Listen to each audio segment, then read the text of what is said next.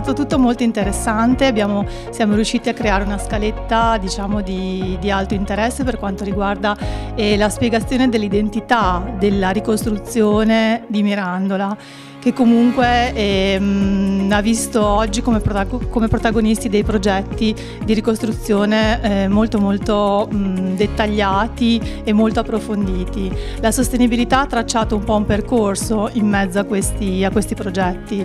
E non sempre è possibile rispettare tutti i crismi, però la volontà dei progettisti e anche delle, mh, diciamo del, degli staff è proprio quella di seguire questa strada.